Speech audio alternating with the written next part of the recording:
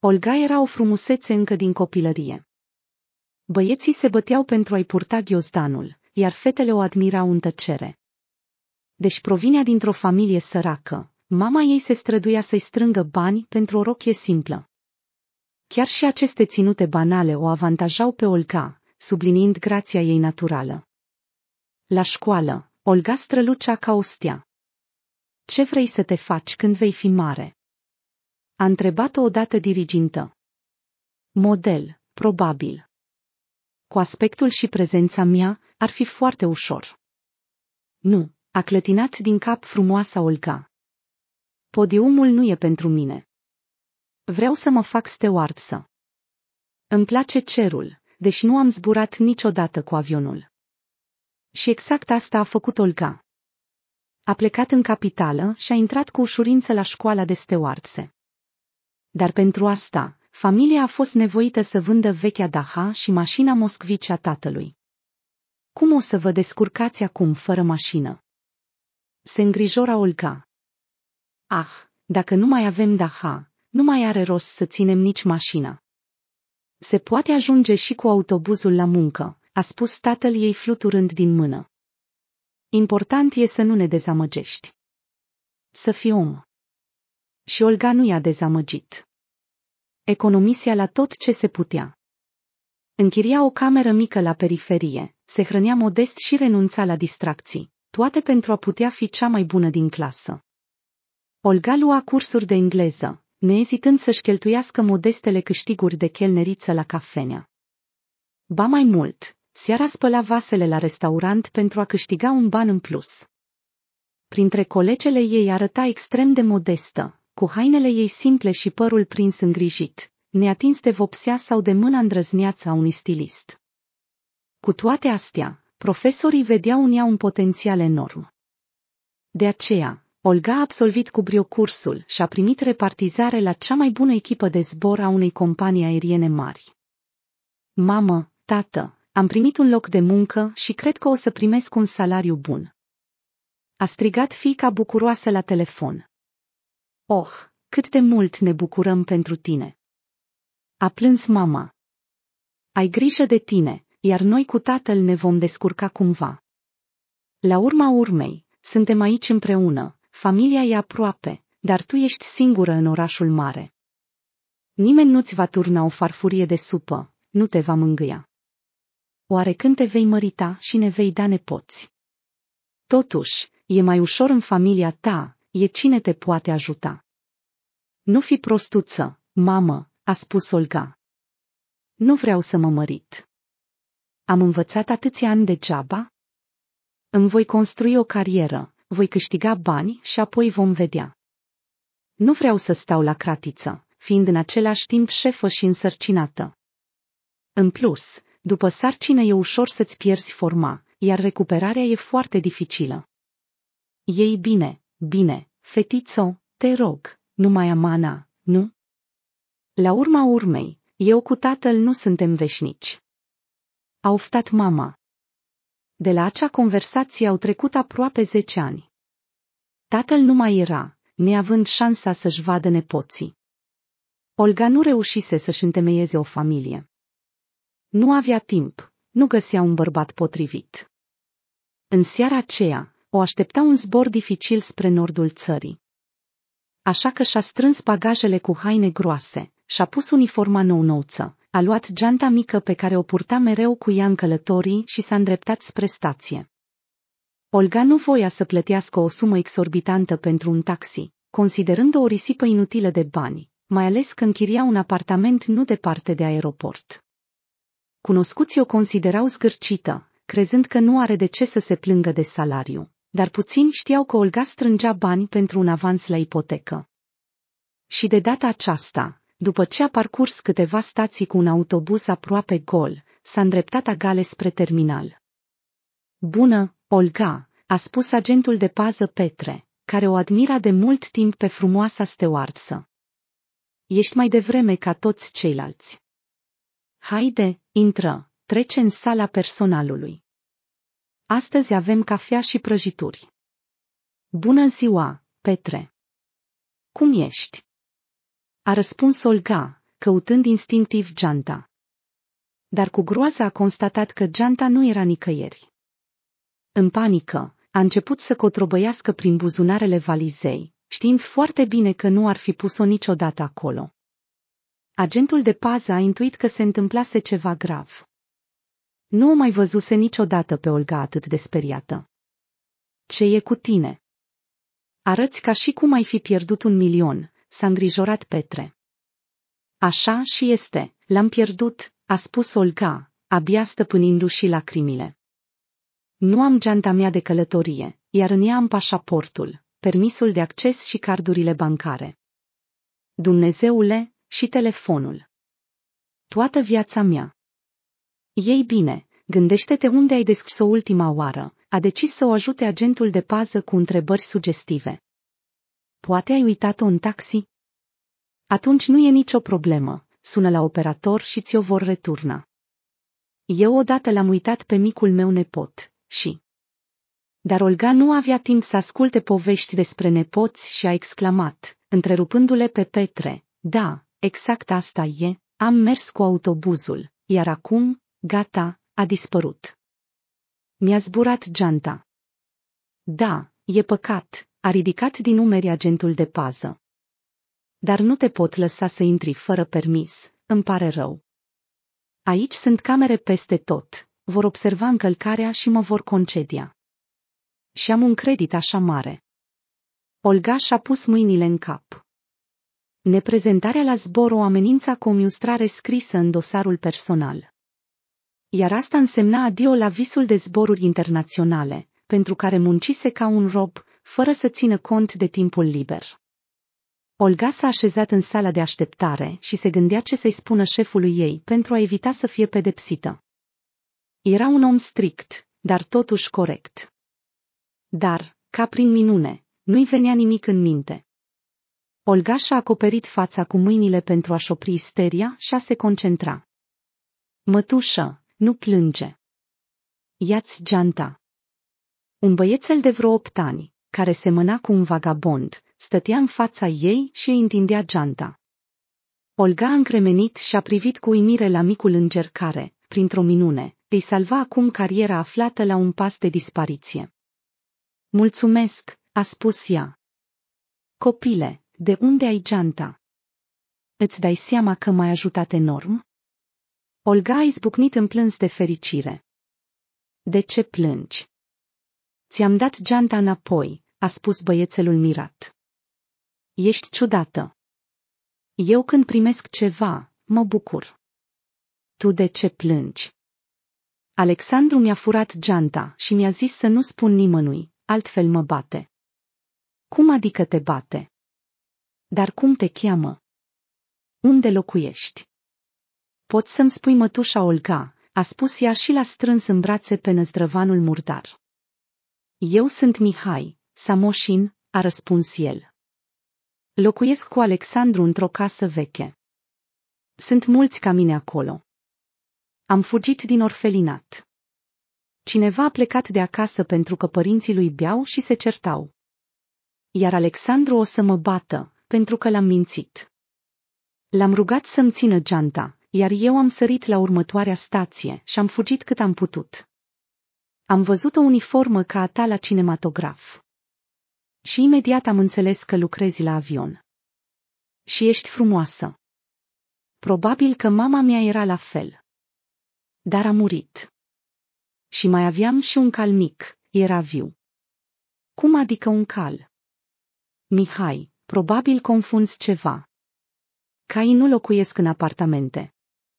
Olga a zâmbit la imaginația copilului.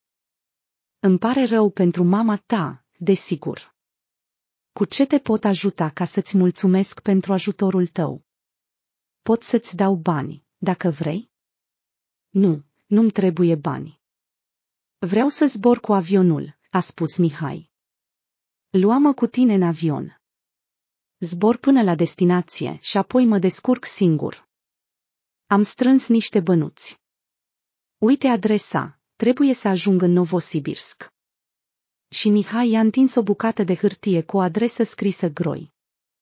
Auzind numele orașului, Olga a înțeles că acest băiat a fost trimis de soartă chiar ei. Astăzi avea un zbor al companiei lor aeriene exact acolo. De altfel, Olga își dorea de mult un copil, dar din cauza programului încărcat și a fricii de a-și pierde reputația cu greu câștigată de însoțitoare de bord executivă și atentă, nu își permitea. Aici era un băiat gata făcut, inteligent, cinstit și, nu în ultimul rând, foarte drăguț.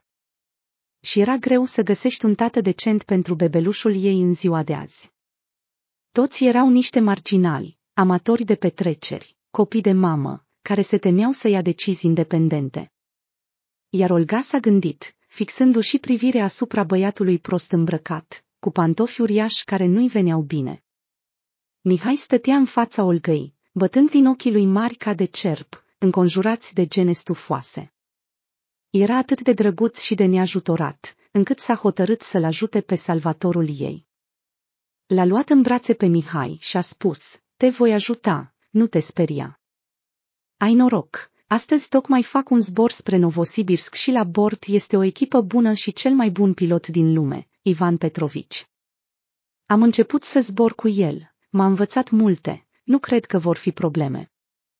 Avem mereu câteva locuri libere pentru cazuri de urgență, doar că Vera Borisovna este foarte încăpățânată, dar voi încerca să o conving și te vom lua la bord. Atunci ai avea nevoie de o rangă. Dar mai bine să nu te bați, a remarcat Mihai. De ce mi-ar fi nevoie de o rangă? Cu cine aș lupta? S-a mirat Olga. Tu ai spus că o vei convinge pe mătușa aia. Cât de neînțeleasă ești, nu? A răspuns Mihai. Olga nu mai râsese de mult timp.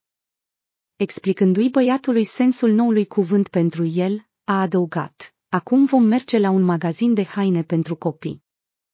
Îți vom cumpăra niște haine mai decente. Ai nevoie de o jachetă caldă. Mergem spre nord, totuși. Există magazine în aeroport? A întrebat Mihai. Da, aici este tot ce vrei, a zâmbit Olga și l-a luat pe Mihai de mână. Este cu mine, i-a spus paznicului Petru, când acesta s-a uitat surprins la băiat. Și așa, Mihai a ajuns unde nu și-ar fi imaginat niciodată că va ajunge, în adâncurile aeroportului uriaș, inaccesibil pentru un mic vagabond. Wow! Mihai își dădea din cap, privind vitrinele strălucitoare, panourile electronice și avioanele prin sticla ferestrelor imense. Strânge-mă mai tare de mână, e ușor să te pierzi aici, a sfătuit Olga. Și iată magazinul. În fața lor se aflau ușile de sticlă ale magazinului în lumea copilăriei. Mihai a tras aer în piept, deschizând ochii mari de uimire. Aici era totul, și haine, și cărți, și, cel mai important, jucării, cum nici măcar nu-și putea imagina în visurile sale. Băiatul privea cu fascinație un câine robot care își întorcea capul, observându-le pe băiat când trecea pe lângă raft. Olga a observat că Mihai privea cu entuziasm la noutatea asta, fără să îndrăznească să se miște. Câinele a dat din coadă și a lătrat prietenos. Mihai stătea lângă jucărie și nu vedea și nu auzea nimic în jurul lui. Își dădea seama că nu va avea niciodată în viață o asemenea jucărie scumpă, al cărei preț semăna mai degrabă cu un număr de telefon. Olga a trebuit să-l tragă pe Mihai în cabina de probă pentru a-i pune hainele alese. Tot timpul ăsta, băiatul era sub impresia a ceea ce văzuse și nu a scos niciun cuvânt. A tăcut și atunci când vânzătorul i-a urat un zbor bun. Miț, măcar te-ai uitat în oglindă. A spus Olga. Uite cât de drăguț ești. Mihai s-a uitat automat în oglindă și nu s-a recunoscut. Vai, ce frumos! Și e scump? Ei bine, nu mai scump decât banii. A zâmbit Olga. Ei bine, acum putem merge la avion. Echipa noastră este deja la bord. Trebuie să ne grăbim. Stați! I-a strigat vânzătoarea. Fiul dumneavoastră are dreptul la un cadou pentru suma cumpărăturii. Aici este acest cățeluș de pluș mopsi. Și fata i-a dat lui Mihai o jucărie moale, care semăna la fel cu un cățeluș viu. Bucuria copilului nu avea limite. A luat cățelul și l-a strâns la piept. De mult timp nu mai avea nimic al lui, mai ales o jucărie atât de frumoasă. Te voi numi ca, i-a șoptit miț cățelușului de jucărie. Mulțumesc mult, mătușă. Și Olga a grăbit pasul pentru a ajunge la timp la îmbarcare. Unde ai fost, Leoneva? A strigat Vera Borisovna, stând la intrare și fixând-o pe Olga cu privirea. Și ăsta cine e? E Mihai. Faceți cunoștință, Vera Borisovna. Zboară cu noi, trebuie să ajungă la tatăl lui în Novosibirsk. Și cine a dispus asta? Unde e biletul lui? Nu s-a putut opri șefa de cabină. Mă voi înțelege cu Ivan Petrovici. Dumneavoastră, ca mamă, ar trebui să înțelegeți. Mama acestui băiat a murit. Vera, trebuie să-l ajutăm. Olga o ruga pe colega ei implorând. Eu sunt mamă, dar tu nu. Fă ce vrei, dar numai fără mine. Strângându-și buzele, Vera Borisovna a mormăit și a plecat. Olga știa că Ivan Petrovici o va înțelege. Și mai știa că nu o plăcea pe această certare țică Vera, care, printr-o minune, sau mai degrabă prin protecția tatălui ei influent, s-a strecurat în echipa lor prietenoasă. Vera era acea lingură de gudron în butoiul cu miere, care strica mereu totul de dragul propriei vanități. Așteaptă aici, nu te mișca de aici, și eu mă duc la capitan, a spus Olga. Când a aflat că totuși va fi acceptat și că va vedea în curând orașul mult așteptat, Mihai sărea de bucurie și aplauda când Olga se întorcea. Alți însoțitori de bord zâmbeau și îi ofereau copilului să se întărească. Doar Vera Borisovna, care era mereu necăjită, își strângea buzele supărată, refuzând să accepte că această uștirbătură, cum o numea ea pe Olga, a obținut din nou tot ce și-a dorit. Așa că Vera și-a întărit hotărârea că după aterizare va face tot posibilul să o pună la loc pe Olga, căreia invidia frumusețea și norocul cu toată ființa sa. Când avionul a decolat, Mihai și-a apropiat nasul de hublou și privea cu încântare cum pământul se îndepărtează, casele devin mici, iar râul se transformă într-o dâră albastră. Uite asta! Uite ce meserie! Și eu vreau să devin pilot. Să mă învețe unchiul Ivan. A anunțat Mihai cu voce tare. Stewardsele, trecând pe lângă el, admirau sinceritatea copilului. L-au învățat cu delicii și băuturi, uimite de bunătatea și bunăvoința lui. Toți, cu excepția verăi nemulțumite, care își savura planul de răzbunare. Când avionul a aterizat, Mihai a aplaudat și a spus lui Clopătrei, uite că am trecut peste. Hai să mergem să ne plimbăm prin oraș. Nu te duci nicăieri singur. Olga stătea lângă el și a auzit totul. Te voi învăța despre zbor și vom merge împreună la adresa necesară. Te rog, nu te du nicăieri fără mine. Ai putea să te rătăcești într-un oraș necunoscut. Poliția te-ar putea lua, te-ar putea duce înapoi la orfelinat. Auzind menționarea orfelinatului, Mihai s-a închis complet și a dat din cap. Nu voia deloc să se întoarcă. Dar la aeroport, Olga era deja așteptată de necazuri. A fost chemată la șeful aeroportului, care a stabilit o videoconferință cu șeful Departamentului de Resurse Umane al companiei aeriene la care lucra Olga. Ce îți permiți, Leonova? A strigat șeful furios. Mi s-a raportat despre o încălcare gravă din partea ta. Ai adus un copil străin la bord. Și dacă poliția se interesează de asta, iar mass media fac o știre provocatoare din această poveste, înțelegi că ne-ai expus reputația. Primești o miustrare strictă și o amendă echivalentă cu salariul. Olga nu a putut să-și ridice nicio vorbă în fața tiradei furioase a șefului așa că a ieșit din birou cu capul plecat și ochii roșii de lacrimi. Mihai o aștepta acolo unde i-a l-a lăsat. Vorbea liniștit cu câinele său de jucărie și se uita din când în când după o steoarță. Măcar cuiva îi sunt de folos, a gândit Olga și și-a șters lacrimile. În sfârșit ai venit. A suspinat Mihai cu ușurare. M-am temut că mă vei uita și vei pleca. Dar de unde să mă duc? A zâmbit Olga.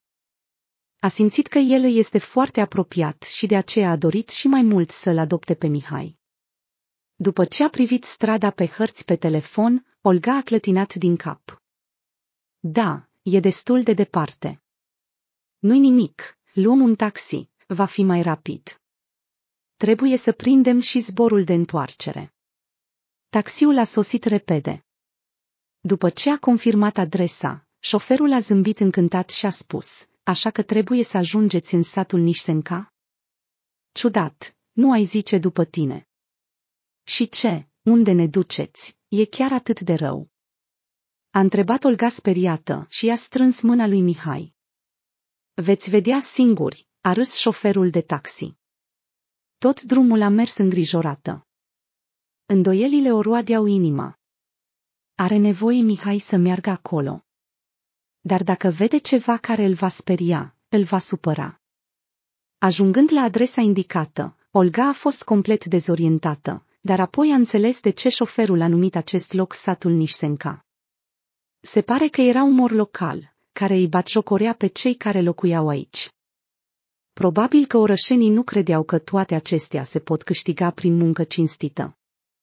Un adevărat palat se înălța în fața Olgăi uimite. Lipseau doar gardieni cu săbi uriașe la poartă, deși de asta începuse să se îndoiască. Poate că se ascundeau undeva prin preajmă? Și avea dreptate. Abia s-au apropiat de poartă, când o fereastră s-a deschis și o voce bărbătească groasă a întrebat, Cine sunteți? Ce doriți? Sunt Mihai Samoșin. Am venit la tata. Spune-i că îl cheamă Alexandru Leonidovici Ierâjov.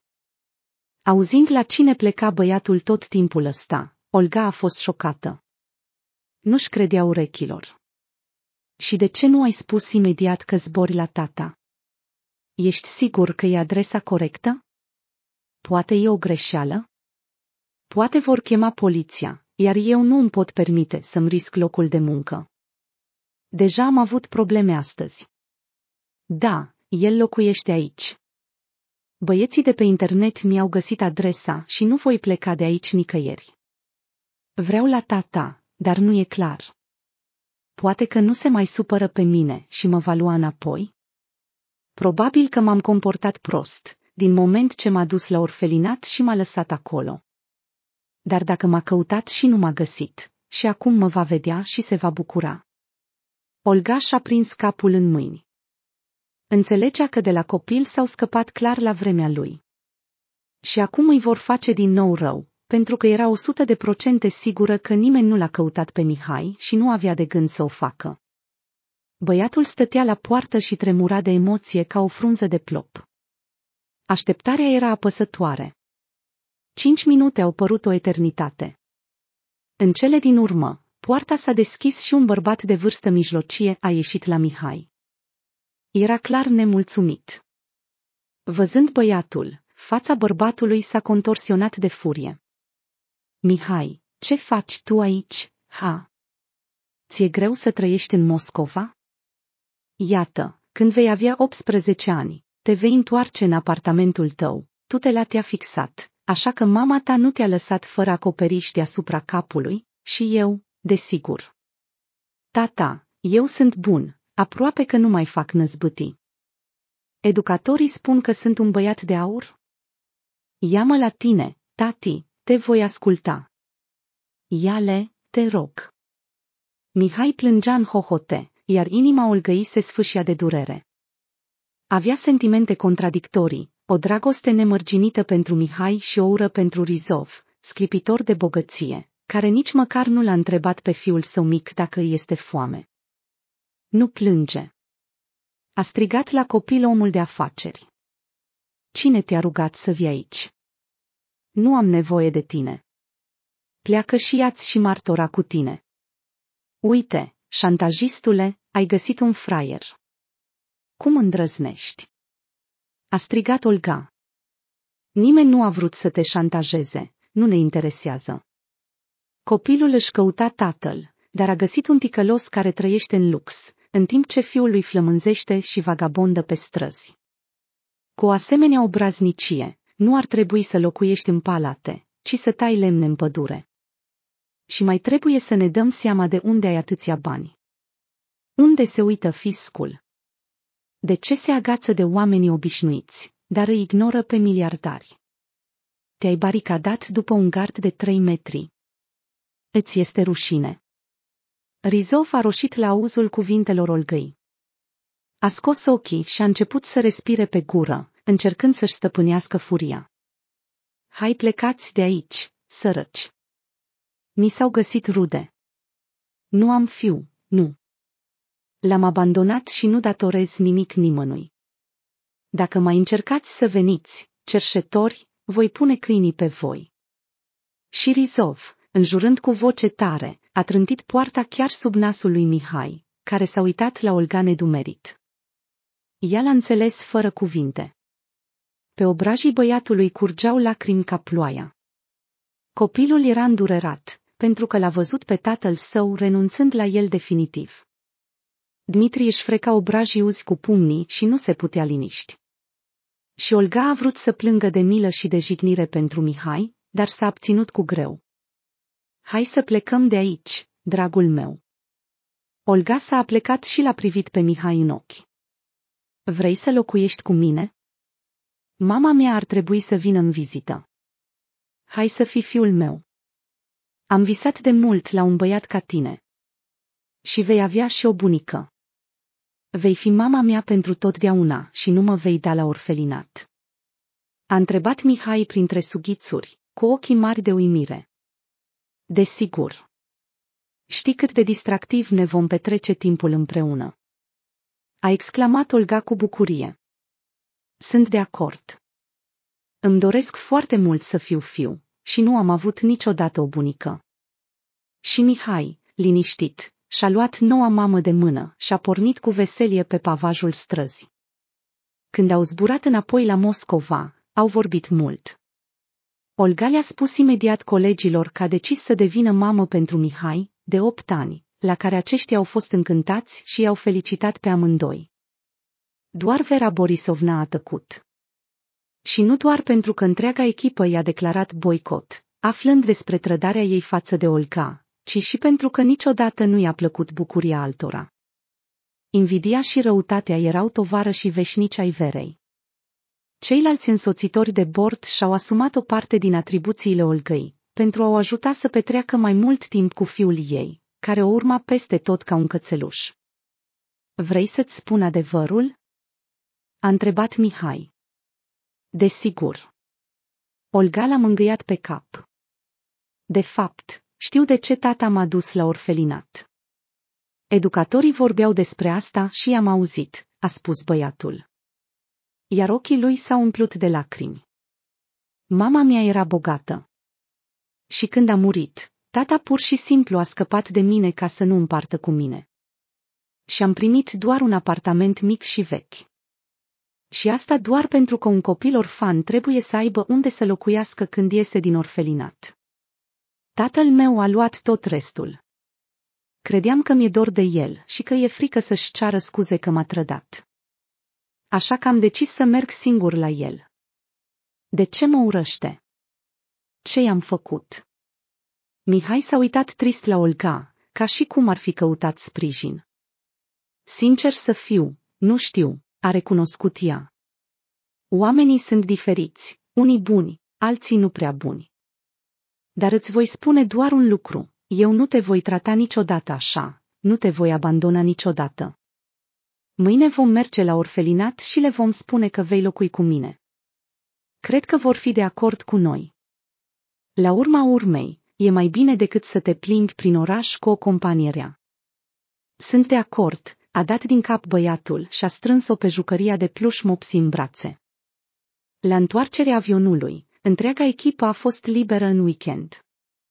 La despărțire de Mihai, colegii îl invitau în vizită, lucru care l-a bucurat foarte mult pe băiat, iar Olga a fost recunoscătoare colegilor pentru sprijin. Ei bine, acasă? A spus ea veselă, privind la Mihai. Acasă. A repetat băiatul, zâmbind. Încă nu-i venea să creadă că și-a găsit o familie. Olga închiria un apartament spațios cu vedere la parc. În apropiere era amenajată o platformă modernă pentru copii, spre marea bucurie a băiatului. Liftul l-a entuziasmat și mai mult. Olga a trebuit să-l tragă de lângă butoane, altfel s-ar fi tot plimbat cu el în sus și în jos între etaje. Nina Stepanovna, mama, a deschis ușa. Văzând un băiat necunoscut, a fost foarte surprinsă, dar, fiind o femeie inteligentă, nu a dat de veste. Bună ziua, bunică, a spus Mihai fericit, la care Nina Stepanovna s-a uitat interogativ la fica ei. Mamă, fă cunoștință, nepotul tău Mihai, a spus ea. L-am găsit ieri la aeroport, mai exact el m-a găsit și m-a salvat de la concediere, dar e o poveste lungă, ți-o voi spune mai târziu. Nina Stepanovna a încremenit de uimire, apoi s-a așezat încet pe un puf în hol. Mihai stătea neștiind ce să facă, dacă să fie trist sau bucuros, dar nu a trebuit să se îngrijoreze. Nina Stepanovna l-a luat brusc în brațe pe băiețelul slab și l-a ridicat cu ușurință. Cât te-am așteptat? Bunica proaspăt coaptă nu-și putea stăpâni lacrimile. Înțelegea că în fața ei se afla un copil cu o soartă grea, probabil orfan. Chiar te-ai gândit la mine? A întrebat el surprins. Desigur că da, a zâmbit Nina Stepanovna, iar în colțurile ochilor i s-au format riduri raze, cum se întâmplă doar la oamenii buni. Oh, bunicuță, ești grea, eu sunt mare, s-a grăbit Mihai, cuprinzând-o pe bătrână de gât. Nu e nimic, povara proprie nu trage, a răspuns Nina Stepanovna și l-a strâns tare la piept. Olga stătea rezemată de tocul ușii și abia acum își dădea seama cât de obosită era. Ei bine, familiarizați-vă aici, iar eu mă duc să dorm, a spus ea și s-a cufundat în întunericul plăcut al dormitorului ei. Până când Olga s-a odihnit, Nina Stepanovna și Mihai au reușit deja să se împrietenească și găteau deja cina împreună. De aceea, când Olga a venit în bucătărie, a fost surprinsă de atmosfera prietenoasă care domnea între mamă și Mihai, de parcă ar fi fost bunică și nepot de viață. După prânz, băiatul a cerut voie să se plimbe și a promis că nu va pleca nicăieri din curte. Acest lucru i-a venit în ajutorul găi, deoarece ea voia să vorbească cu mama ei în privat. Ei bine, povestește-mi, a spus Nina Stepanovna cu nerăbdare când s-a închis ușa din spate în urma lui Mihai. Olga a povestit în detaliu despre evenimentele din ultimele 24 de ore, fără a uita să menționeze actul urât al Verei Borisovna. O situație, da, a meditat mama. Trebuie să strângem documentele pentru adopție. Dar asta nu e o problemă. Dar ce să faci cu o amendă atât de mare? Aici nu te pot ajuta. Nici măcar nu am economii. Și această vera a ta e de treabă, dar cum a putut să se gândească să toarne șefului și să trădeze întreaga echipă? Și cum are de gând să lucreze cu voi după asta? Oh, mamă, nu mă interesează asta acum, a spus Olga. Aș vrea să știu de ce tatăl meu natural a scăpat de fiul său, trimițându-le la orfelinat. Trebuie să fie un motiv. Trebuie să aflăm ceva despre acest tip. Oh, și cum vei afla? Ai nevoie de conexiuni pentru asta. Nina Stepanovna a ridicat din numeri. Stai puțin, cred că știu cine ne poate ajuta, a exclamat Olga. Acum o lună, unui general i s-a făcut rău în timpul zborului din cauza unui atac de asteme. Ne-au învățat cum să acționăm în astfel de cazuri. Și în timp ce toți stăteau răbdătorii pentru neferete, l-am salvat, îmi amintesc clar. Acest om mi-a dat o carte de vizită și mi-a spus că pot apela la el dacă am probleme. Deci unde este? Olga a scormonit în geantă și a scos o cartonaș unde era scris gradul, numele de familie și numărul de telefon al omului pe care îl salvase. Olga nu voia să piardă niciun minut și a format numărul de pe cartea de vizită. Un bărbat a răspuns la telefon și a întrebat cu o voce gravă, generalul Arhipov, ascult. Bună seara, Oleg Lvovici. Sunt Olga. Vă amintiți de mine? Sunt steward sa de pe zborul Moscova-Nijni Novgorod. Am nevoie urgentă de ajutorul dumneavoastră. Era vizibil agitată. Ah, Olga. Desigur că mă amintesc de tine. Cum să uiți o persoană care ți-a salvat viața? Te voi ajuta, așa cum am promis. Ce s-a întâmplat?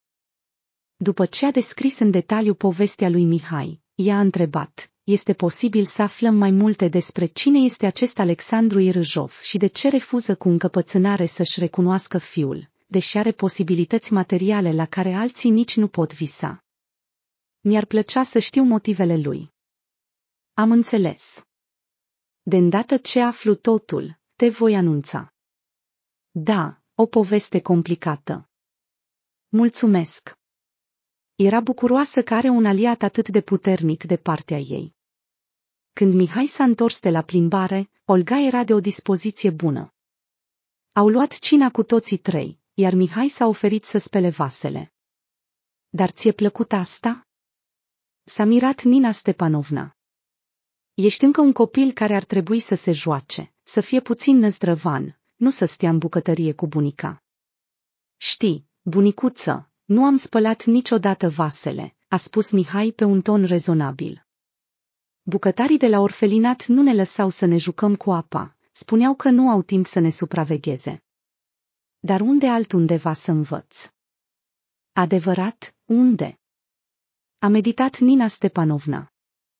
Și apoi spunem că tineretul nostru este rău. Tineretul nostru este bun.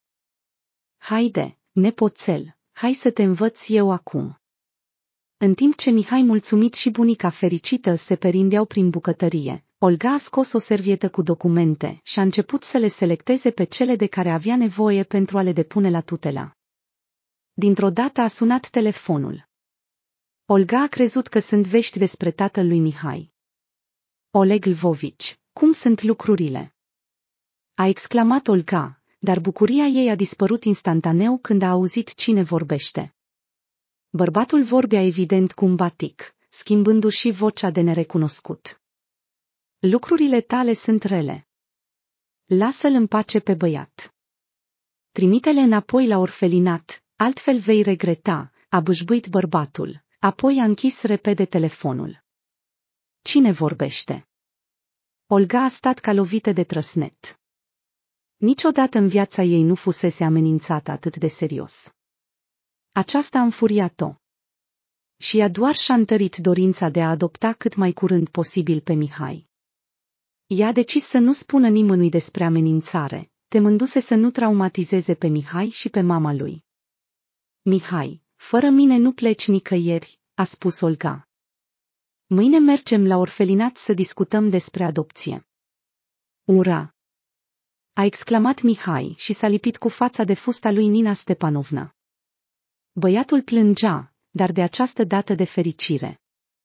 Nici sufletul lui Nina Stepanovna nu a rezistat. Noua bunică s-a umplut și ea de lacrimi. Nu mai plângeți. A spus Olga cu un zâmbet. Sau încă mai întreceți cu sare plăcinta voastră. Să bem ceai.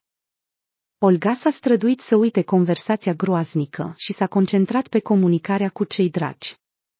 Era târziu, așa că a venit momentul să meargă la culcare. Mihai a primit propria cameră, lucru care l-a încântat pe deplin. A doua zi dimineață, Olga nu a fost trezită de ceas, ci de vocea lui Mihai. Mătușă, Ol, ridică-te. Hai să mergem la orfelinat să mă adopte. Dar încă sunt cinci dimineața. A răspuns ea somnoroasă. Acolo, în afară de dădaca și paznic, nu este nimeni adult. Hai să dormim încă două ore și ne pregătim. Și poți să mă numești mamă, dacă vrei. Nu pot încă, a suspinat Mihai. Ei bine, dormi, a spus Olga și s-a întors pe partea cealaltă. Ea s-a adormit și nu a observat cum Mihai s-a culcat lângă ea și s-a încolăcit. El nu putea să o numească mamă, dar dădea de înțeles că o iubește. După câteva ore, Nina Stepanovna i-a găsit așa, dormind împreună sub aceeași pătură cu un cățel de pluș în mijloc. Imaginea era atât de adorabilă încât nu avea chef să-i trezească. Însă asta a făcut nemilosul ceas deșteptător. După un mic dejun delicios și o pregătire rapidă, Mihai și Olga s-au dus la orfelinat. Copiii, văzându-și camaradul, l-au luat cu asalt și au examinat lucrurile noi ale lui și jucăria pe care băiatul atent o păstra în mână. Iar Olga s-a îndreptat către biroul directorului. Acolo era un bărbat bătrân cu un chip bun. Ascultând argumentele, el a zâmbit. Nu vă faceți griji atât de mult, Olga Dmitrievna. Nu sunt împotriva ca Mihai să stea la tine până la adopție. Și nu credeți că vreau să scap de el cât mai repede. Pur și simplu va fi mai bine pentru el așa. Să se obișnuiască cu mediul familial. Și din partea mea, promit să ofer toată asistența necesară. Este și în interesul meu ca elevii noștri să găsească fericirea. Mulțumesc, Ludwig Ascoldovici. Sincer, nu mă așteptam să fie totul atât de inimă bună. Merg să-i spun lui Mihai despre decizia dumneavoastră. El este îngrijorat. Și Olga a ieșit în coridor cu aripile fericirii, gata să sărute lumea întreagă. Mihai a înțeles imediat totul din expresia ei mulțumită și a zâmbit. El a privit la câinele său, Clopu, s-a gândit la ceva și i-a dat animalul de companie noului băiat care privea trist pe fereastră. Iați cățelul, acesta este Clopu. El m-a ajutat foarte mult. Și ți-ar putea fi de ajutor. Băiatul a luat cu grijă jucăria, ca și cum ar fi fost vie, și a strâns-o strâns la piept. Pentru prima dată în mult timp, a zâmbit și a dat din cap mulțumitor. Înapoi acasă, Mihai era plin de mândrie și fericire. El ținea strâns mâna Olgăi și voia să-și vadă bunica cât mai curând posibil. Ce bucurie! A exclamat Nina Stepanovna, auzind decizia directorului adăpostului. Trebuie să sărbătorim asta? Și încă ceva, dragă, ți-au sunat de la serviciu și au spus să vii urgent să semnezi ceva. Pare să fie niște schimbări, nu am înțeles exact. Olga a plecat imediat spre aeroport, iar Mihai și bunica au rămas acasă. Nina Stepanovna voia să-l învețe pe nepot să facă clătite astăzi. Și în curând, bucătăria devenise caldă, chiar și cu fereastra deschisă. Așa că, în cele din urmă, Mihai a convins-o pe bunica să-l lase să iasă puțin afară. Și așa au făcut. El a ieșit în curte, iar bunica a rămas să termine clătitele. Pe drum, Olga a fost sunată de generalul Arhipov. Ei bine, Olenka, ești pregătită să primești informația? Da, raportez. Cetățeanul Râjov nu este tatăl lui Mihai Samohin, ci tatăl Vitrec. S-a căsătorit cu mama băiatului acum cinci ani, cu un an înainte de moartea ei, dar nu i-a dat numele său. Anna Samohina, mama lui Mihai, a început să se îmbolnăvească și a murit curând după căsătorie. Dar tatăl Vitrec s-a debarasat de Mihai, dându-le la orfelinat. Mai mult decât atât, toată averea Annei a fost transferată pe numele lui încă în timpul vieții ei, parcă ar fi știut că va părăsi această lume. În final, băiatul a rămas fără moștenire. O poveste întunecată. Voi ordona oamenilor mei să se ocupe de asta. În plus, Mihai Samohin nu are un tată din punct de vedere fizic. Cum adică? S-a mirat Olga. E ceva obișnuit, a răspuns Oleg Lvovic. Materialele biologice ale tatălui au fost luate dintr-o bancă specială a unui centru ecologic, așa că numele donatorului nu apare pe certificatul de naștere al mamei. Ei, asta e o veste. Interesant, dar de ce nu i-a spus Râjov lui Mihai că nu este tatăl lui? A fost surprinsă Olga. Lăcomia, lăcomia umană obișnuită, a concluzionat Oleg Lvovic. Simt că nu se va termina bine cu asta. Dacă apare ceva nou, ține-mă la curent. La sosirea la aeroport, s-a dovedit că nimeni nu o chemase pe Olga. Cine m-a sunat? A întrebat ea pe șeful ei, Dar acesta doar a ridicat din umeri. Olga s-a întors și a găsit-o pe mama ei plângând. Olenca, Mihai nu este nicăieri. Am coborât după el pe terenul de joacă și copiii mi-au spus că a alergat după minge și nu s-a întors. Poate a fugit din nou. Ștergându-și fața umflată de lacrimi, a spus Nina Stepanovna. Nu se poate. I-am spus să nu meargă singur. Olga își amintea de apelul amenințător din dimineața aceea. Nu cumva Mihai a fost răpit. Dar de cine? A ieșit pe terenul de joacă. Copiii, ca și cum nu s-ar fi întâmplat nimic, se jucau și gălăgiuiau cu veselie. Băieți, nu l-ați văzut pe băiețelul în geaca albastră pe aici. Are opt ani. E nou pe aici și nu-l pot găsi nicăieri, a întrebat Olga copiii de la Teșghia. Ei au clătinat din cap negativ și au continuat să se joace. Ea s-a așezat pe o bancă și și-a acoperit fața cu mâinile. Nu înțelegea de ce se prăvălise atâta nenorocire peste ea. Mâinile îi tremurau de stres, iar mintea nu mai funcționa deloc. Mătușă, îl cauți pe Mihai? O fetiță cu panglici mari stătea lângă ea. Da, a răspuns ea. L-ai văzut? L-am văzut, a dat din cap fetița, iar panglicile i-au fluturat. Ne jucam cu mingea. Apoi am dat eu din greșeală un șut puternic și mingea a zburat în aci tufișuri de acolo. Am vrut să mă duc după ea, dar Mihai a spus că e băiat și trebuie să ajute fetele. Așa că a fugit acolo, dar nu s-a mai întors. L-am strigat, l-am strigat, dar nu era nicăieri. Și am început să plâng. Apoi am vrut să-i spun mamei lui, dar nu știam în ce apartament locuiește. Am început din nou să plâng. Dumneavoastră sunteți mama lui? Da. Prin lacrimi, Olga a zâmbit la povestea amuzantă a fetiței. Îți mulțumesc. Cu plăcere, a răspuns fetița. Dar dacă îl găsești, nu-l certa prea tare, bine. Bine, a spus Olga și a fugit în direcția pe care o arătase fetița. Tufișurile unde se rostogolise mingea se aflau chiar la marginea carosabilului. Dacă ar fi fost lovit de o mașină, ar fi fost urme de sânge. Ar fi venit poliția, ambulanța, dar nu e nimic aici. Deci a fost răpit. Bietul Mihai, s-a gândit Olga și a format din nou numărul generalului Arhipov. Așteptarea a fost obositoare, așa că, pentru a nu-și pierde mințile de panică, s-a întors acasă. În apartament mirosea valeriană, iar Nina Stepanovna stătea pe canapea cu un compres pe frunte.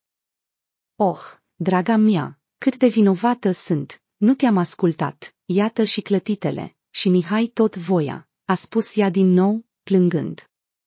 Olga s-a speriat de starea mamei sale și a zâmbit cu greu, pentru a o liniști cumva. Nu plânge, îl caută deja pe Mihai. Un prieten de-al meu ne ajută. Ia clătitele tale, că nu degeaba ai stat la plită. Deși nu avea poftă de mâncare, Olga s-a forțat să mănânce pentru mama ei. Nina Stepanovna s-a animat puțin și s-a liniștit după cuvintele fiicei sale. Seara a sunat Oleg Lvovic. Olga a sărit la telefon. Se pare că Rizov era deja la Moscova. Oamenii mei au aflat asta. Poliția percheziționează casa unde locuiau mai înainte Mihai cu mama și tatăl Vitrec. Ți-am trimis deja o mașină, ai nevoie de noi. Acum sunt la fața locului, Rizov este interogat. Se eschivează cu dibăcie de răspunsuri, spune că nu l-a văzut pe băiat de patru ani. Trebuie să-l strângem cu ușa în spate, ascunde clar ceva. Mulțumesc, vin, a exclamat Olga și a început să se pregătească. Simțea că, în sfârșit, totul ar trebui să se rezolve, tainele care acopereau soarta fiului ei adoptiv să fie dezvăluite. Curând a venit o mașină după ea și în jumătate de oră erau deja la locul faptei. Casa unde locuia mai înainte micul Mihai cu mama sa se remarca prin lux. Era o clădire stilizată ca un castel. Inima Olgăi s-a strâns la vederea turnulețelor miniaturale și a gardului înalt din fier forjat. În fața porții se aflau mai multe mașini de poliție. Oleg Lvovic a ieșit să o întâmpine și a avertizat-o. Controlează-te când îl vei vedea pe Rizov.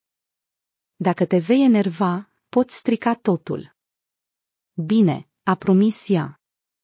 După cum s-a dovedit, a fost avertizată cu un motiv. La vederea lui Alexandru Valiazni, așezat pe o canapea din brocart, furia a clocotit în pieptul ei. Dar, văzând privirea de avertizare a generalului, a încercat să se calmeze. Văzând-o pe Olga, Rizov a devenit nervos. A roșit și a făcut ca și cum nu o cunoștea. Îl recunoașteți pe acest bărbat? A întrebat-o anchetatorul pe Olga. Da, este tatăl vitreg al lui Mihai, viitorul meu fiu adoptiv. Fac actele de adopție, iar deocamdată băiatul locuiește cu mine, a explicat ea. Nu o cunosc, o văd pentru prima dată. Și nu l-am văzut pe băiat de patru ani. De ce aș avea nevoie de un copil străin? A izbucnit Rizov. Iată o fotografie în care stați împreună cu Mihai acum câteva zile lângă o casă din Novosibirsk. Și Olga i-a arătat fotografia pe telefon. Când ai reușit? Cine ți-a dat permisiunea să mă fotografiezi? A strigat Rizov. Unde este băiatul? A întrebat generalul cu o voce amenințătoare. Nu am niciun băiat. A strigat Rizov. Tovarășul general. S-a adresat lui Arhipov, unul dintre polițiști. Am percheziționat totul, de la camere la subsol. Copilul nu este aici. La aceste cuvinte, inima Olgăii a căzut în stomac. Oare trăia puiul ei, care se pusese în calea bogatului criminal? Mecanic, a privit în jur prin sufragerie și a observat ceva care i-a umplut inima de speranță. Pe podeaua de lângă șemineu zăcea o mică cocorlică de hârtie, exact ca cea pe care o făcea Mihai și o învăța pe ea, Olga. Atunci i-a ieșit strâmb, iar băiatul râdea cu hohote. Sunteți pasionat de origami? S-a adresat ea lui Rizov. Ce să fac, să îndoi hârtii? A pufnit el. Mai locuiește cineva aici care ar putea fi pasionat de asta? A insistat Olga. Nu mai e nimeni aici. Ce întrebări prostești, doamna? A râs nervos Ierâjov.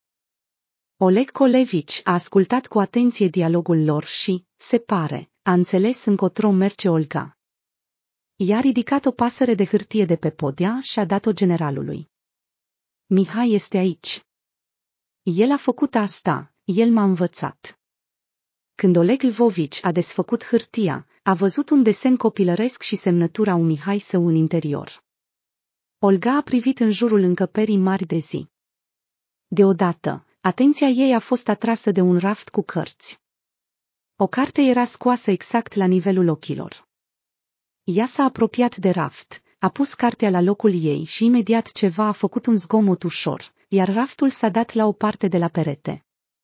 În spatele lui era o ușă cu un mâner masiv. Olga a apăsat pe ea, iar ușa s-a deschis fără scârțit. Și acolo era o cameră mică, slab luminată, plină de valize din plastic și sertare de metal. Printre dezordine, pe un pernă de pe canapia, era Mihai plângând.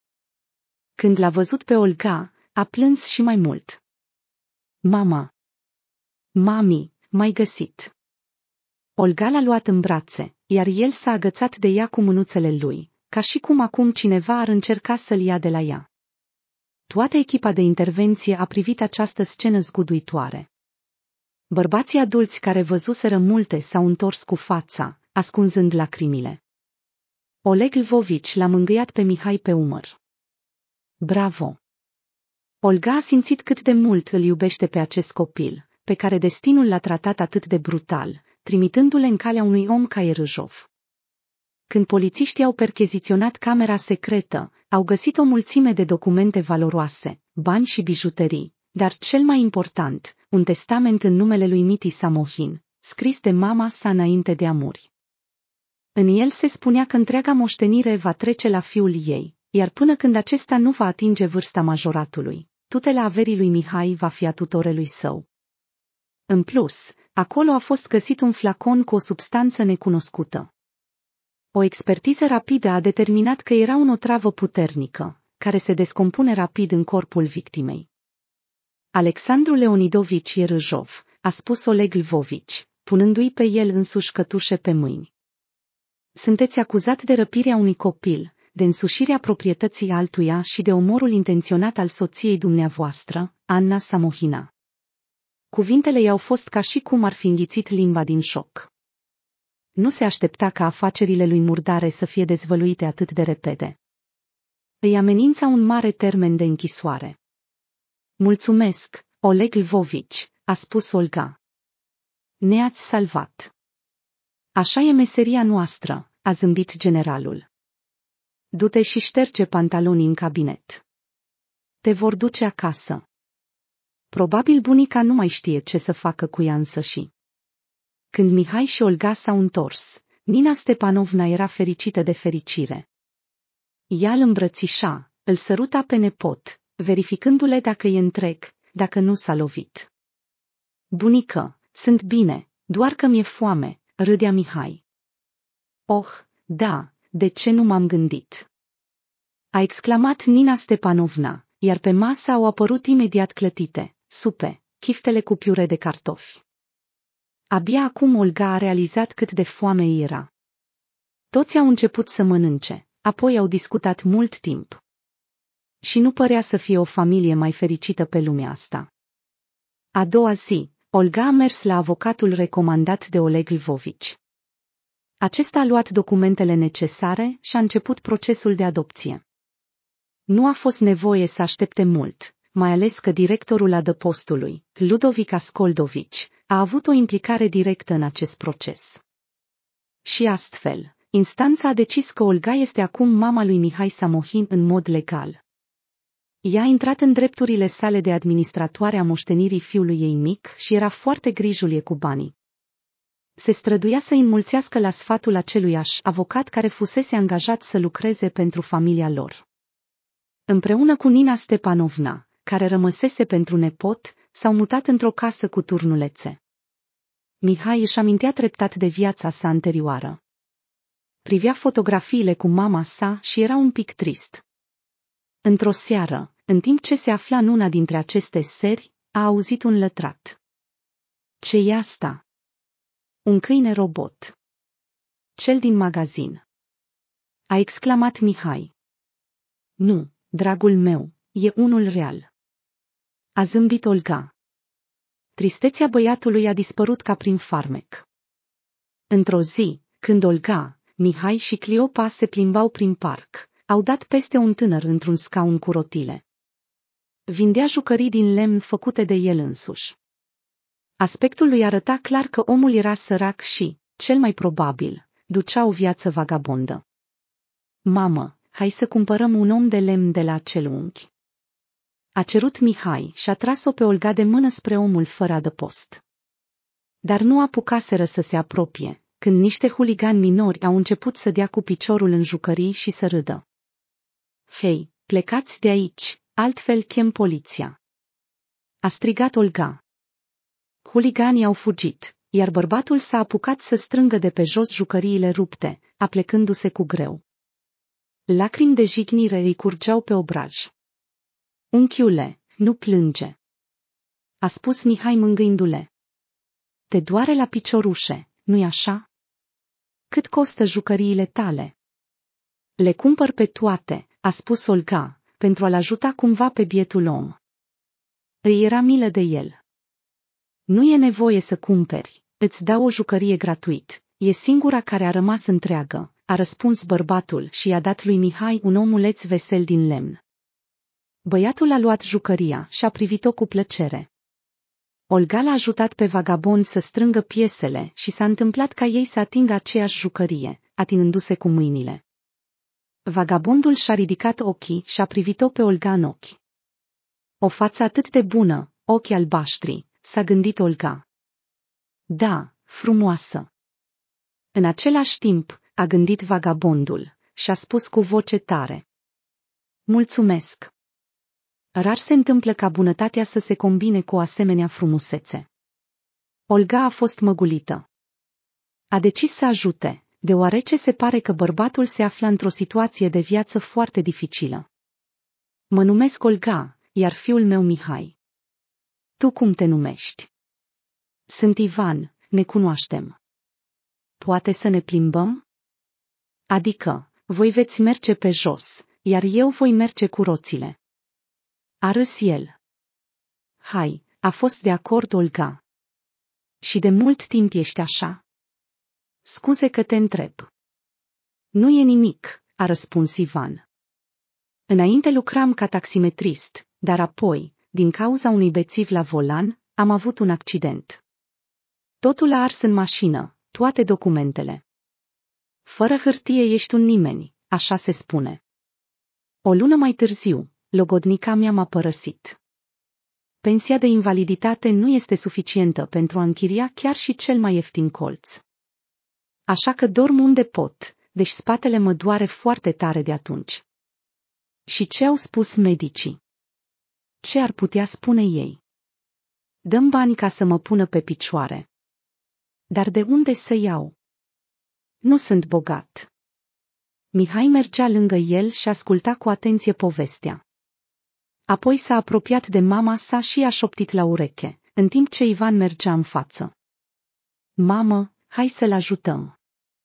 Unchiul Ivan e un om bun, uite, mi-a dat o jucărie. Olga a dat din cap aprobator și i-a spus lui Ivan, ascultă, ne-am sfătuit cu fiul meu și vrem să te ajutăm. Vom plăti operația și reabilitarea, iar în plus, poți locui la noi.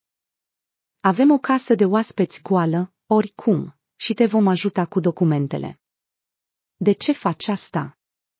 Ivan a oprit căruciorul și a privit cu uimire la femeia cu copilul, pe care îi vedea pentru prima dată în viața lui. Nu știu nici eu. Poate că am avut o viață grea înainte, iar Mihai a venit din orfelinat.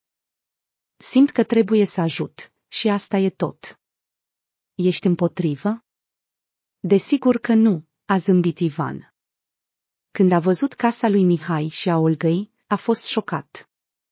A fost uimit de frumusețea locului ales, unde castelul stătea ca o poveste.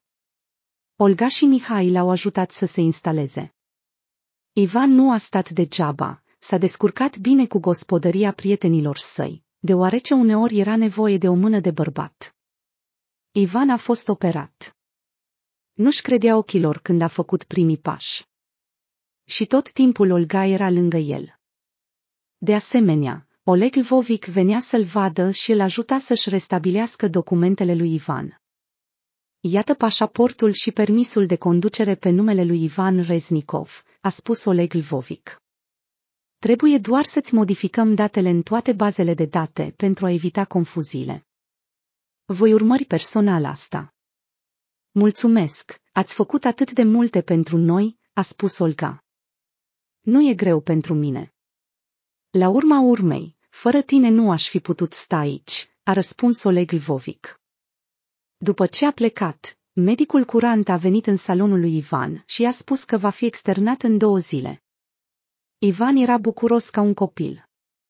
Era recunoscător Olgăi pentru altruismul ei și și-a dat seama că era îndrăgostit. Dar cum să spună asta, se gândea Ivan. Cine este ea și cine sunt eu? Dar îndrăgostitul nu știa că Olga îl plăcea încă din prima zi. Își ascundea cu grijă sentimentele. Curând Ivan s-a întors de la spital, iar Olga a organizat o cină grandioasă. Motivul a fost nu doar recuperarea lui Ivan, ci și ziua lui de naștere. Când toți s-au adunat la masă, inclusiv Oleg Lvovic, Olga a declarat solemn, ne puteți felicita pe mine și pe Mihai. Ne căsătorim. Iată o nouă certificare de naștere a fiului meu. Sunt înscrisă acolo ca mama lui, vă imaginați? Acum nu mai este doar o hotărâre judecătorească, ci un document real. Păcat doar că în coloana u tatău este un linie. Dar eu voi fi mitei atât mama, cât și tată. Ei, ar fi fost bine să știu cine este tatăl meu. Este greu să fi băiat născut dintr-o neprubetă, a spus Mihai. Nu trebuie să cauți departe. Tatăl tău stă chiar în fața ta, prietene, a spus Oleg Lvovici. Una dintre bazele medicale a dezvăluit că acum 9 ani, Ivan a fost donator o singură dată la un centru de fertilizare in vitro. Celulele lui au fost folosite pentru mama lui Mihai. Da. Odată, un genetician cunoscut m-a rugat să fiu donator pentru o femeie singuratică și am fost de acord. Ivan a fost șocat și se uita la Mihai uimit. Deci, acesta este fiul meu? Da, exact așa. A zâmbit Oleg Lvovici. Olga stătea acolo, copăleșită de șoc. Nu se aștepta ca secretul tatălui lui Mihai să fie dezvăluit atât de repede. Fiule, l-a chemat Ivan ușor, da, o să te îmbrățișez. Se pare că nu am trecut pe lângă voi degeaba atunci. Se pare că destinul a vrut să ne întâlnim. Mihai a alergat la tatăl său și l-a îmbrățișat strâns. Tată, te rog, nu mă părăsi. Da, unde să mă duc acum de la voi, dacă vă iubesc pe amândoi? Și atunci Ivan și-a dat seama că a spus prea mult. Olga s-a înroșit ca sfecla. Oleg Lvovici a râs ușor în miustăți. Ei bine, dacă nu vă deranjează, aș fi încântat să fiu tatăl vostru înscris. Oleg Lvovici, ce spui acolo? A început să bâigeuiască Olga. Crezi că nu văd cum te uiți la el? Cum plângeai când era în reanimare după operație? Acum chiar m-am obișnuit și cu voi. Răbdați-mă. Și eu sunt singuratică. Mă atrage de aceea familia voastră. Și dacă se va mări, atunci voi fi pur și simplu fericită. Nina Stepanovna nu a putut să spună niciun cuvânt. Ea era copăleșită de sentimente. Cum să nu fie? Nu de mult erau doar ea și fiica ei, iar acum vor deveni o mare familie fericită. După trei luni, a avut loc un eveniment important, nunta Olga Ivanovna. Festivitatea a fost modestă. Au decis să o țină în marele grădină de lângă casă. Au invitat doar cei mai apropiați și colegii. Mai puțin Vera Borisovna, pentru că nimeni nu voia să vadă fața ei acre. Oleg Lvovici i-a predat personal miresei mirele. Ivan, îți dăruiesc fericirea ta, ai grijă de ea. Ivan a întins mâna către Olga și ea a înțeles că acum în sfârșit are un sprijin solid în viață. Dacă v-a plăcut povestea, mă puteți susține cu un like. Pentru voi este doar un click, dar pentru mine este extrem de important. Mulțumesc și toate cele bune!